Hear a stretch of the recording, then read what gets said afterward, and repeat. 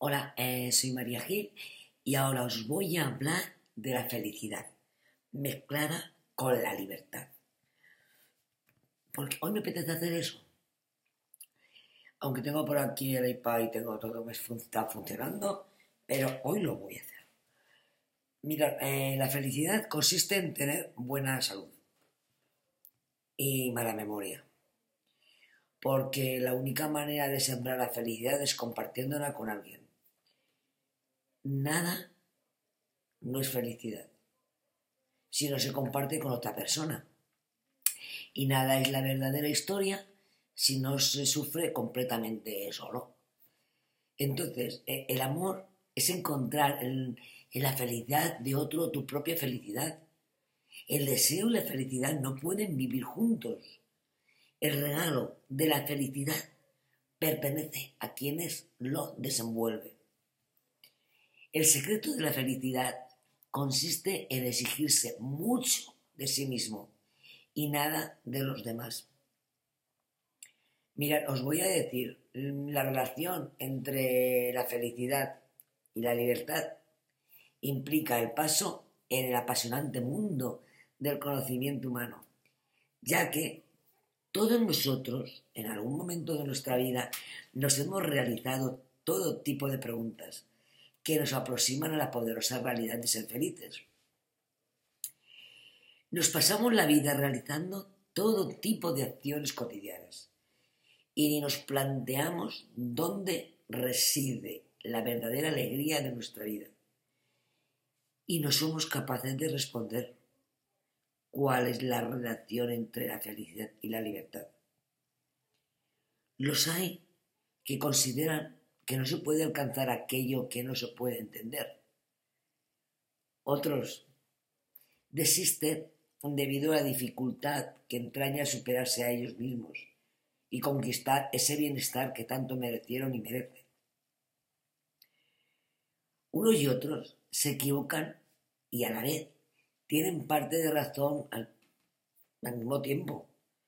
Porque mirar, cuando somos libres, entendemos que la alegría de nuestra vida depende de todas y cada una de las decisiones que diariamente elegimos. Eh, por este motivo, la capacidad de elección es una de las herramientas más poderosas que existen. Para conocer la verdadera posibilidad de vivir alegres y en plenitud, como nunca antes lo imaginábamos. Pero os voy a decir una cosa, hay algunos impedimentos que nos hacen un poco más difícil esta comprensión. Porque, por ejemplo, yo os voy a poner unos, ejemplos. Tener o no tener pareja no influye en nuestra capacidad de conocer la felicidad, porque esta última reside en el interior de nosotros, sí, en nuestro interior, y no al lado de nadie. Es nosotros, nuestra mente, Contar con un trabajo mejor pagado tampoco repercute necesariamente en nuestra capacidad de ser felices. Porque se cobra mucho y no te gusta, pues como que nada, no es alegre.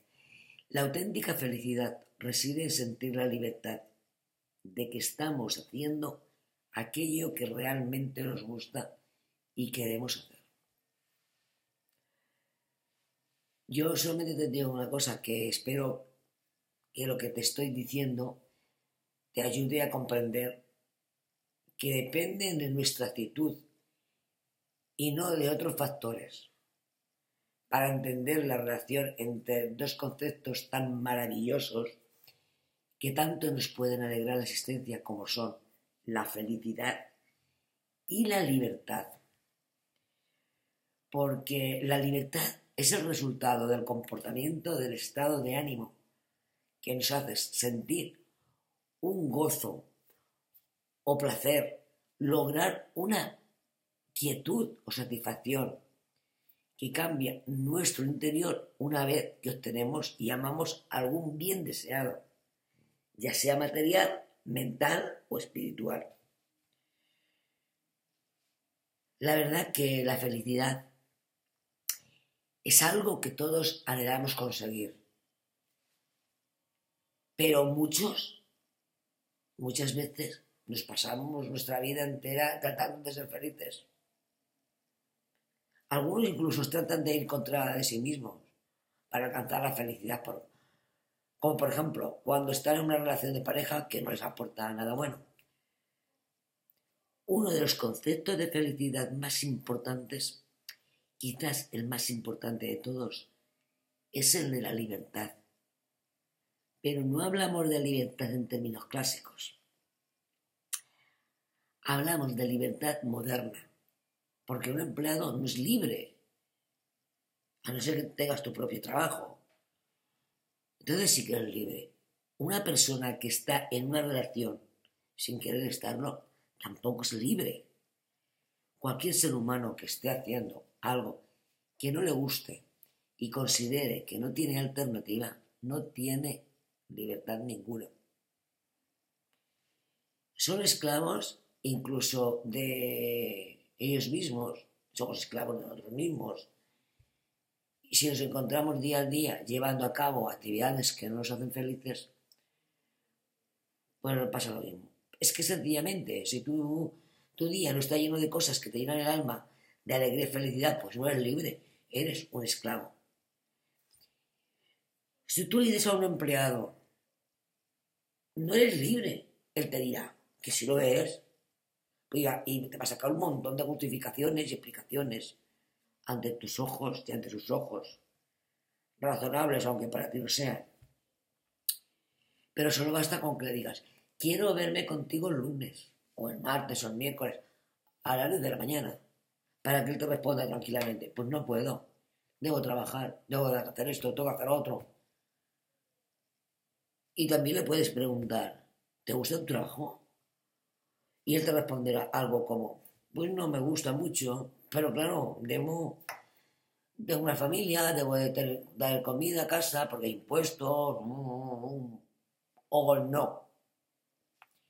Hoy en día hacemos las cosas por necesidad y no por amor o por pasión.